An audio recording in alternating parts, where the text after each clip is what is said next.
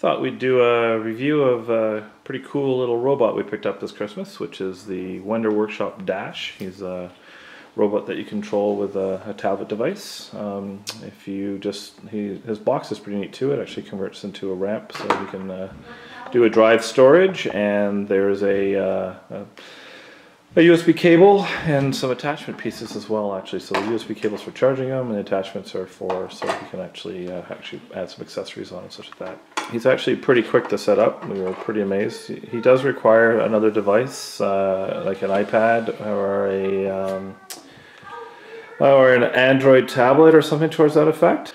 To use them you basically just turn them on and then you're going to be taken to a website.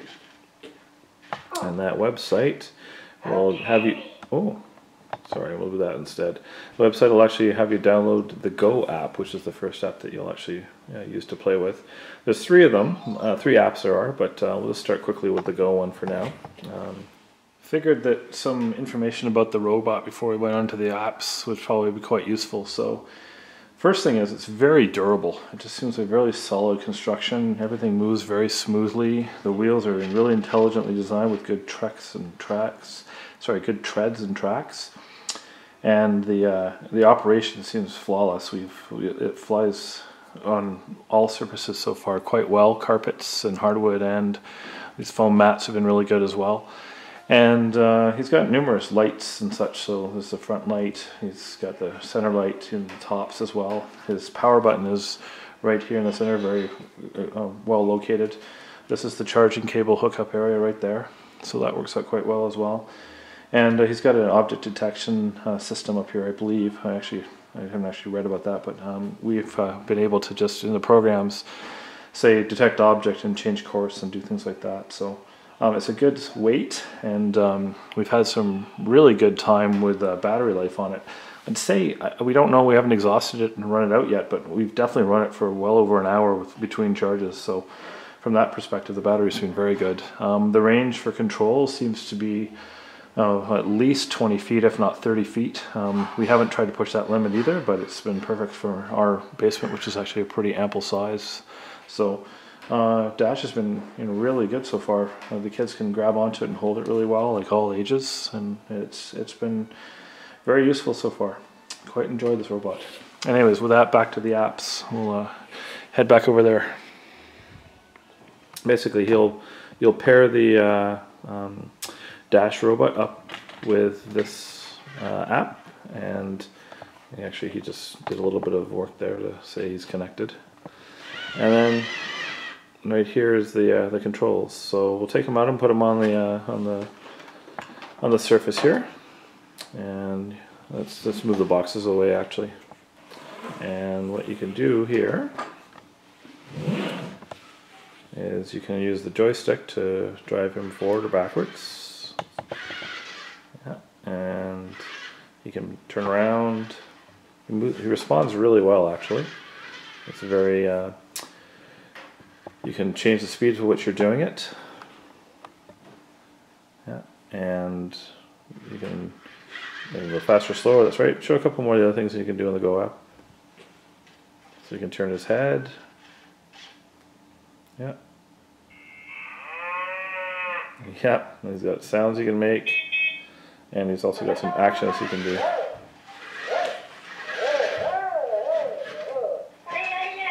So basically it's just a remote control interface for him and you can change various lights on him and, and uh, do all kinds of neat stuff with it actually. It's it's pretty fun stuff they've got, they've got just in the basic app. Um, and you can even control the uh, the front uh, light system that's on there.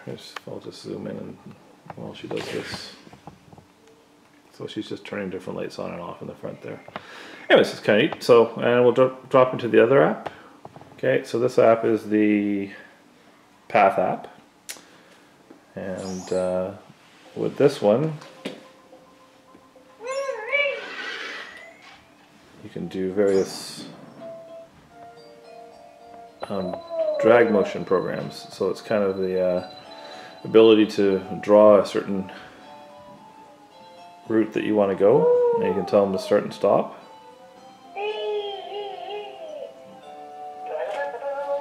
Okay, oops. And you can let him go. And he follows the instructions that you gave him.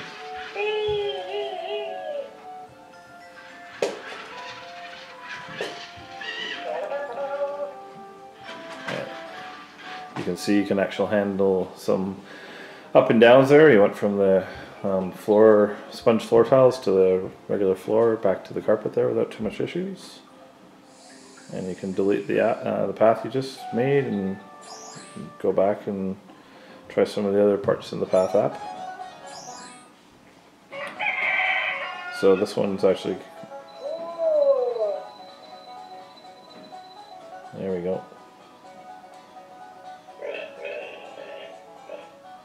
Okay, good, good. And make him go. So you can do different sound effects while he's going on his path.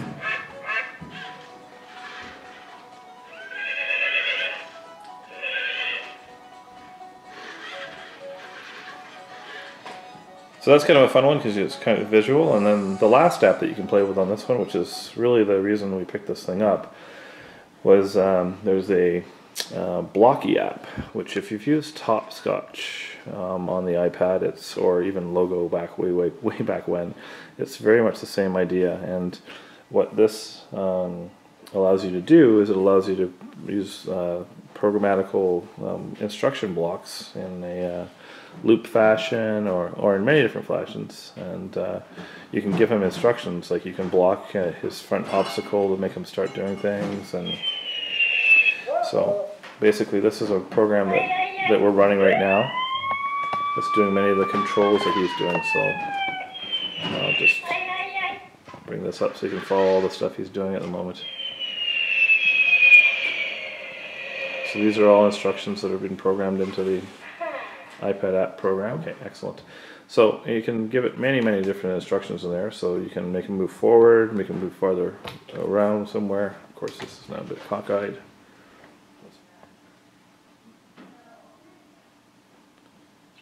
Okay. So when you push the top button now, he's going to reverse. Oh. Can you make him turn around a little bit and come all the way back?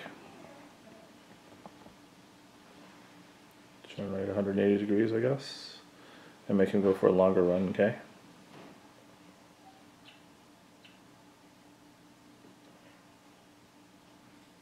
Perfect. Okay.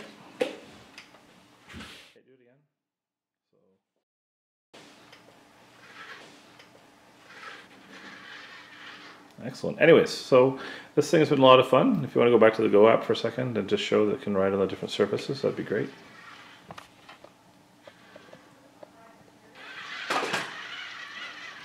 Go drive onto the onto the uh, hardwood over there, and then bring them back.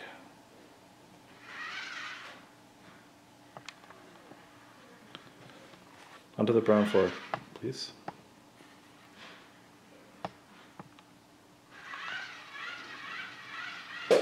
Okay, turn around. And then bring them back up on top on the other stuff. Anyways, versatile little robot. Kids have had a blast with it. Teaches a bunch of programming stuff. Perfect. Hope this review was helpful.